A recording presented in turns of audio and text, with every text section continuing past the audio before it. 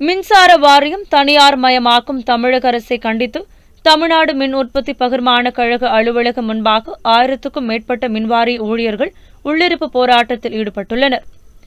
கிருஷ்ணகிரி புதிய வீட்டு வசதி வாரியத்தில் உள்ள தமிழ்நாடு மின் உற்பத்தி பகிர்மான கழக மேற்பார்வை பொறியாளர் அலுவலகம் முன்பாக நடைபெற்ற உள்ளிருப்பு போராட்டத்திற்கு தொழிலாளர் முன்னேற்ற சங்கத்தின் திட்ட செயலாளர் பசவராஜ் தலைமை வகித்தார். மின்வாரிய ஊழியர் மத்திய அமைப்பின் திட்ட செயலாளர் சதீஷ்குமார் கருணாநிதி டேவிட் லக்ஷ்மணன் ஆல்பர்ட் சுந்தரராஜன் ஆகியோர் முன்னிலை வகித்தனர்.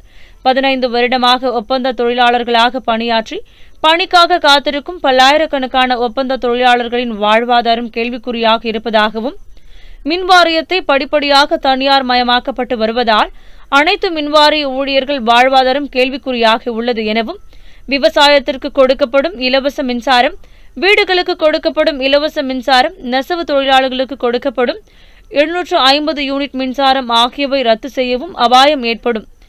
எனவே மின்சார வாரியத்தில் தனியார் மயமாக்கும் திட்டத்தை தமிழக அரசு கைவிட வேண்டும் என உள்ளிருப்பு போராட்டம் நடைபெற்று வருகிறது. இந்த போராட்டத்தில் பத்திற்கும் மேற்பட்ட மின் ஊழியர் சங்கங்களைச் சேர்ந்த ஆயிரத்துக்கும் மேற்பட்ட ஊழியர்கள் பங்கேற்றுள்ளனர். இதுபோன்று உங்களை சுற்றி நடக்கும் செய்திகளை நீங்கள் தெரிந்து கொள்ள சப்ஸ்கிரைப் செய்து பெல் ஐக்கானை கிளிக் செய்து எங்களோடு பயணியுங்கள். மறக்காமல் லைக் ஷேர் கமெண்ட் செய்யுங்கள்.